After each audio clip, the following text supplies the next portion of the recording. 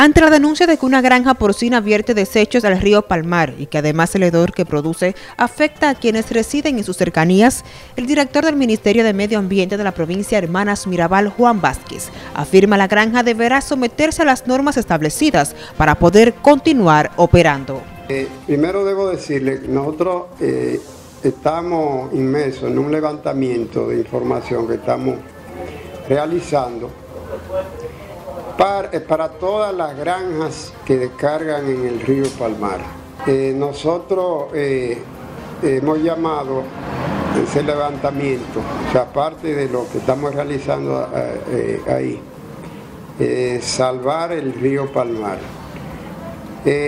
no porque no se pueda, digamos, que estemos en contra de lo que están en, la, producción porcina, sino porque tienen todos deben ajustarse a lo que son las normas que establece esta institución.